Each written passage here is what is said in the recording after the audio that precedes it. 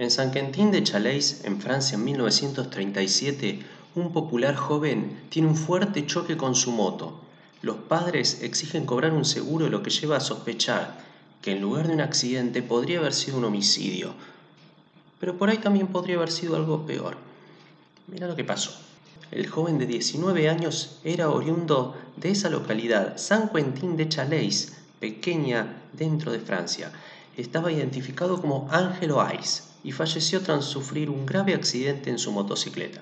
El joven había chocado contra una pared de concreto, lo que le desfiguró parcialmente su rostro. Su familia no tuvo autorización para ver el cuerpo y las autoridades lo declararon oficialmente muerto.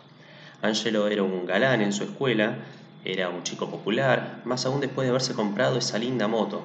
Nunca había querido usar casco que despeinara su jopo. Solía andar a alta velocidad, lo que tuvo su trágica consecuencia.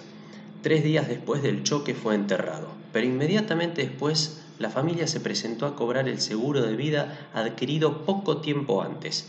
Por este motivo, una compañía de seguros gestionó una exhumación del cadáver al enterarse que el padre de Angelo habría cobrado unos 200.000 francos de la época.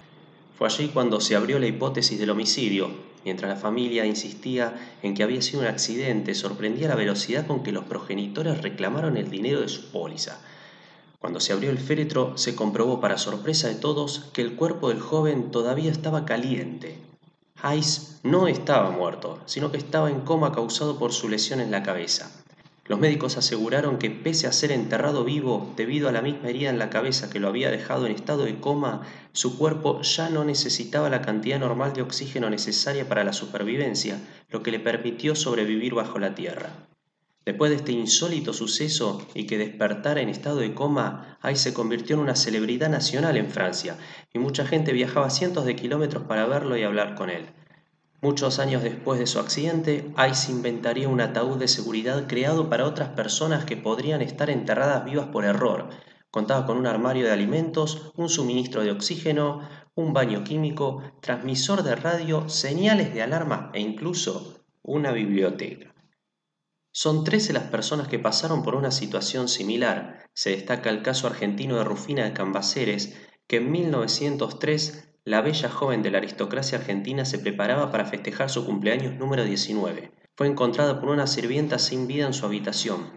Un día más tarde, uno de los cuidadores del cementerio oyó persistentes ruidos desde el interior del cajón, por lo que dio aviso a su familia. El cuerpo de la joven se encontraba de espaldas y con varios rasguños en su rostro, producto, al parecer, de la desesperación de encontrarse sepultada viva. Fue uno de los primeros casos conocidos de catalepsia en Argentina. Peor fue el caso de un millonario de 39 años de Illinois llamado Stephen Small, que fue secuestrado y enterrado vivo en 1987.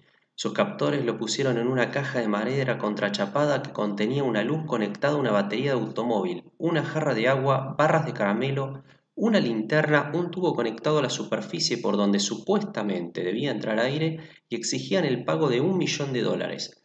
Pero todo salió mal, la arena comenzó a bloquear el acceso de oxígeno y Small murió asfixiado antes de que los secuestradores pudieran cobrar el rescate. Los dos responsables fueron capturados y sentenciados a cadena perpetua. Angelo Ice, en este caso, fue el único que tuvo la suerte de contar su historia.